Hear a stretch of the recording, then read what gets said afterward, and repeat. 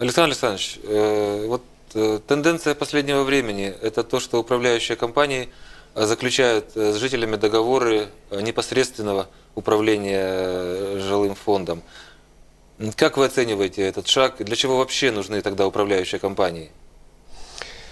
Вы знаете, любое, любые действия, любые шаги в, при грамотном управлении, мы сейчас с вами говорим о жилищно-коммунальном комплексе, они должны быть просчитаны.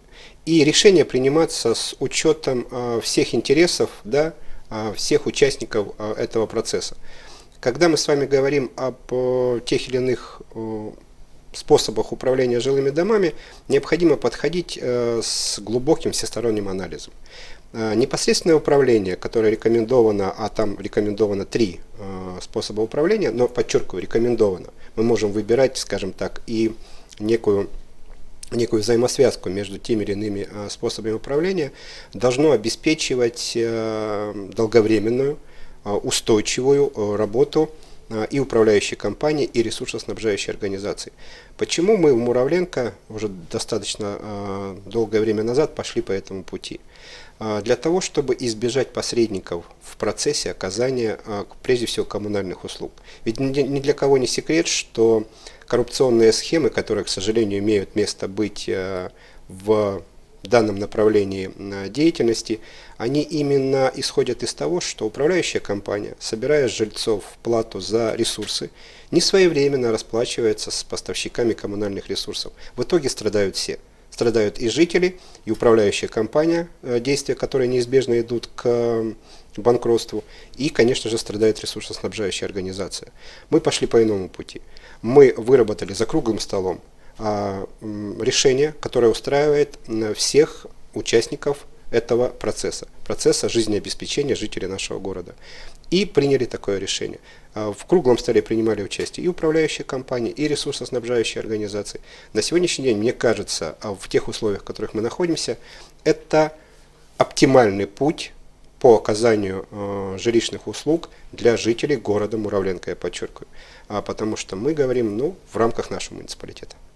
А что касается такой формы управления, как товарищество собственников, э, насколько такая форма жизнеспособна в городе и имеет право на существование? Вы знаете, все зависит от инициативности самих жильцов.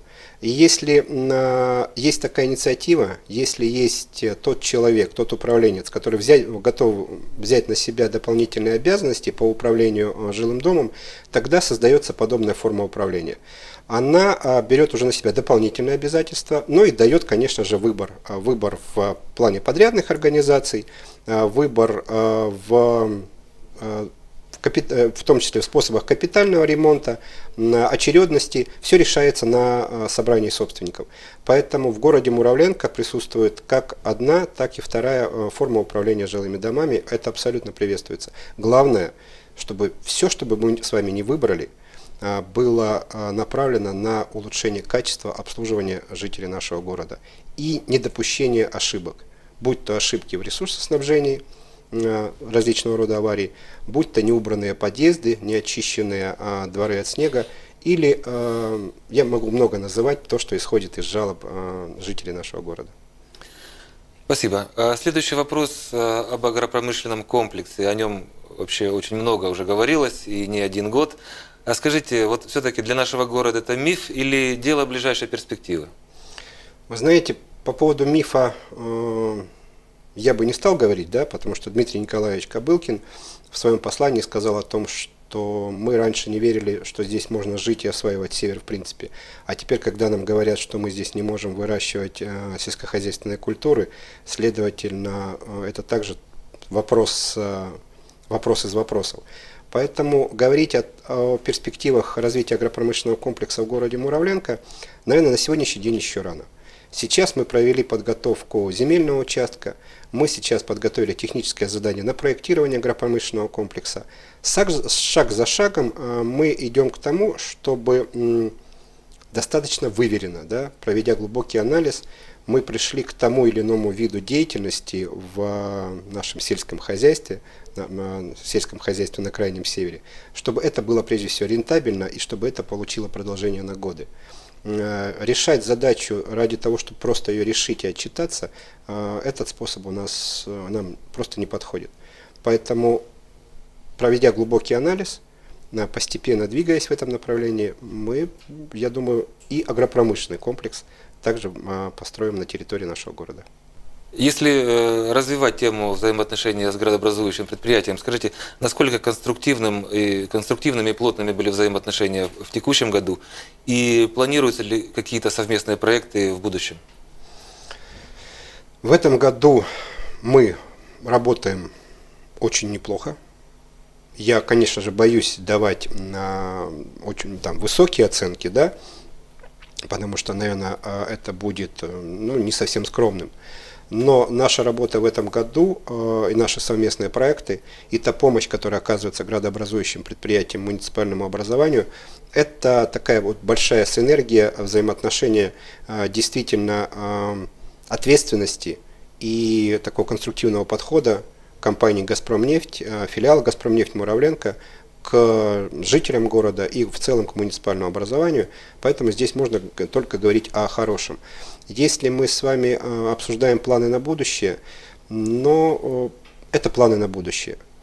На сегодня на вопросы, которые есть у компании «Газпромнефть» к муниципальному образованию города Муравленко, это вопросы подготовки к возможной дальнейшей реализации планов по строительству социально значимых объектов.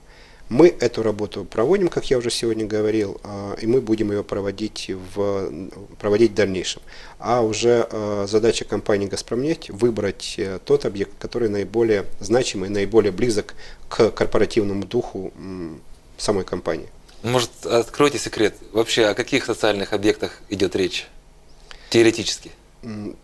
Ну, теоретически а, идет речь о 17 объектах у нас есть кластер из всех областей э, жизни. Это физкультура и спорт, это здравоохранение, это образовательная деятельность. У нас очень много проектов, которые позволили бы улучшить и архитектуру города, и в целом благоустройство города. Когда мы говорим с руководством компании, с руководством филиала, мы добиваемся одной цели – сделать город комфортным для проживания. Пусть не все получается, но мы стремимся к тому, чтобы учесть абсолютно все интересы. Мы говорим о том, что город Муравленко а, – город, город молодых, и мы говорим о том, что Муравленко – это в, любой, в любом случае это база для освоения а, тех месторождений, которые находятся за полярным кругом и, ну, и в общем дальше на север. У нас а, накоплен очень большой опыт как человеческого потенциала, как, как профессиональных кадров, так и э, накоплена большая такая теплая э, сердечная любовь к северу, к Ямалу и ко всему, что здесь происходит. И заключительный, даже не столько вопрос, сколько просьба. Александр Александрович, скоро Новый год, скоро Рождество. Ваши пожелания городу и горожанам на празднике? Хотел бы пожелать жителям города Муравленко, городу Муравленко, а, в целом достойного, стабильного а, развития. За 2013 год у нас с вами были удачи, у нас с вами были ошибки. Ошибки дают нам бесценный опыт, удачи вселяют в нас а, уверенность в завтрашнем дне. Всех нам благ, удачи в наступающем году. Я думаю, что все, что мы задумали, обязательно сбудется. Спасибо вам, Александр Александрович, что откликнулись на наше приглашение. Вас тоже и с наступающим Новым годом, с Рождеством. Пусть сбудется все, что вы наметили. Я напомню нашим телезрителям, э, в студии был глава администрации города Муравленко Александр Подорога. До свидания, с наступающим вас!